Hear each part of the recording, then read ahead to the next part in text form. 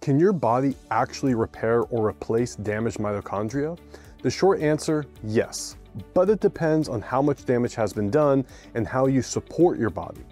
Your cells have built-in quality control systems. When mitochondria are mildly damaged, they can be repaired through processes like fusion and fission where healthy parts are combined and faulty parts are separated and fixed. If the damage is too severe, your body can tag those mitochondria for removal, a process called mitophagy, essentially recycling the broken ones and replacing them with new healthy mitochondria through mitochondrial biogenesis. The catch is, this repair replacement system works best when your lifestyle supports it. Regular exercise, good sleep, nutrient-dense foods, and even short bursts of fasting can all stimulate mitochondrial renewal.